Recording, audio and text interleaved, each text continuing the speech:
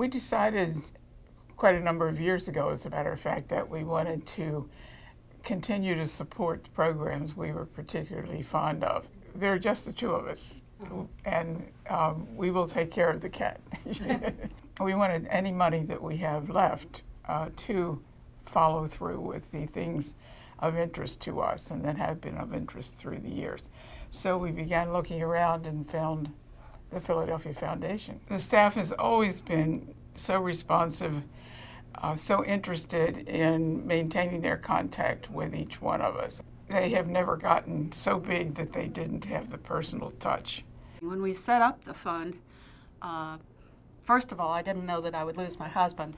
And uh, at the time we set it up, uh, I said to him, just let them decide what to do with it. You know, we set, we set up the money and they decide. And then uh, after his untimely death, um, I actually found that it's been um, very, uh, it's meant a lot to me to go in and sit down and help decide how, how to use it. They kind of were very careful to, to, uh, to find out how much I knew about the issues. Now, since, since I was a regional land use planner for 25 years and actually worked on the Fairmount Park Master Plan back in 1985, I was lucky enough to have a certain amount of knowledge about it.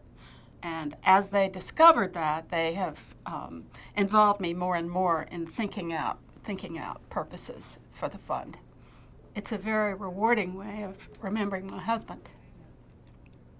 Having experienced uh, um, a, death of uh, a young a young child, we realized that uh, the grieving process is something that uh, is is a is something awkward, is something that's necessary. When you experience something as, uh, as tragic as we experienced, you see a different part of life and you realize there's different things that are, that are important.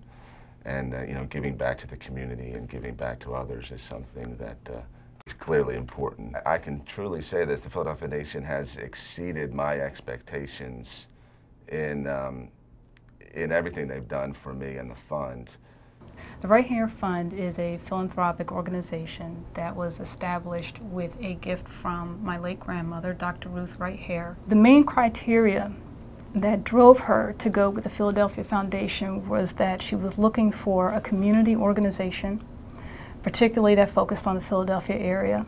She was looking for professionalism she was looking for an organization with a strong track record, and the Philadelphia Foundation has been around since 1918, serving this area.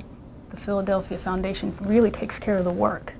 We get to do the fun part, which is to come up with different ideas for what can be funded that's really making a difference in Philadelphia. The Philadelphia Foundation has really allowed us to ensure that her wealth and her mission has lived on beyond her life and will live beyond the lives of the advisors. It sounds crazy, but giving is not easy. The selection process, as you become known in the community and as you want to reach out and do things, um, it's not just writing a check. It really is trying to figure out um, who best should receive it. Are they doing the kinds of things you want? Following up that process.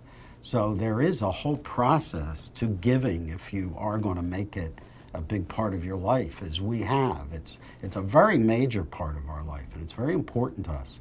And the foundation has given us that structure and that help. I think it's just a wonderful place and a wonderful idea, again, for very busy people, retired or not, um, uh, working or not, whatever their activities are, to truly unburden themselves from a lot of administrative activities, a lot of activities related to taxes, and so much easier. My accountant loves me. I just handle him a piece of paper at year end and it's taken care of.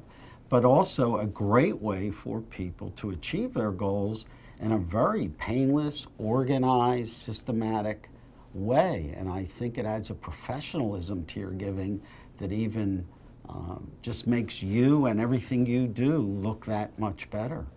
When you come together through the Philadelphia Foundation, you meet people from all walks of life doing things in their own communities for their own purposes, uh, but you share this common thread that you're, you're a giver. You're somebody that likes to do things for your fellow man.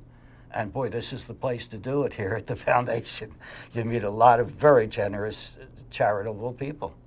You know, you wish you could do all these things in your lifetime, but you cannot give away everything you have until the last day and the last hour. Uh, I think the thought that this is not a dress rehearsal, you only do this thing one time, and you have to try to do it right. And I think maybe setting up a fund like this with the Philadelphia Foundation is the right thing to do.